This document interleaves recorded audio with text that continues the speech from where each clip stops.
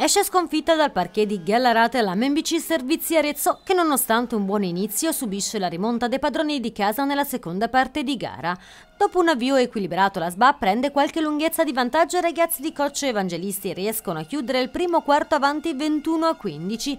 Nel secondo parziale l'inerzia positiva dell'MBC Servizi prosegue con Arezzo che tocca il più 11 dopo una tripla di Zocca. Dopo qualche errore nel secondo quarto il quintetto Amaranto va negli spogliatoi sul 43 a 36. Ad inizio terzo quarto Gallarate cambia atteggiamento e si riporta rapidamente in linea di galleggiamento. Arezzo commette tanti errori tra palle perse e conclusioni affrettate che ridanno fiducia alla squadra di casa. Già sulla terza sirena Gallarate è avanti 63 a 59. Cavalcando questo momento positivo inizia l'ultimo quarto dove i Lombardi ricacciano indietro i tentativi di rimonta dell'AMBC Servizi.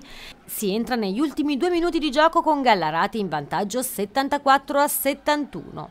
Le due giocate vincenti per i padroni di casa sono un gioco da tre punti di Molteni e soprattutto una tripla di Fioravanti che realizza il canestro del KO sulla Serena dei 24 secondi. La SBA non segna più e così Antonelli Lunetta con un tiro libero fissa il punteggio finale sull'81 a 71 decretando la vittoria dei padroni di casa.